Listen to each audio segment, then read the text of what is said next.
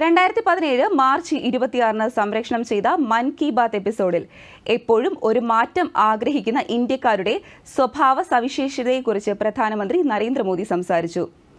വാസ്തവത്തിൽ മെച്ചപ്പെട്ട മാറ്റങ്ങൾക്ക് ഒരു പുതിയ ലോകം സൃഷ്ടിക്കാൻ കഴിയുമെന്ന് അദ്ദേഹം അഭിപ്രായപ്പെട്ടു.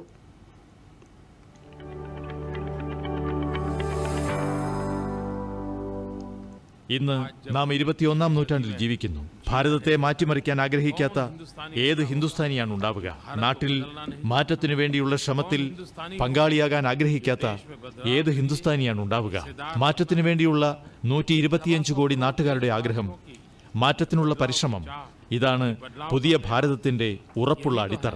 നവഭാരതമെന്നത് ഒരു സർക്കാർ സങ്കല്പമല്ല. ഏതെങ്കിലും രാജനൈതിക പാർട്ടിയുടെ പ്രകടന പത്രികയല്ല. ഏതെങ്കിലും പ്രോജക്റ്റുമല്ല. നവഭാരതം നൂറ്റി ഇരുപത്തിയഞ്ച് കോടി നാട്ടുകാരുടെ ആഹ്വാനമാണ്.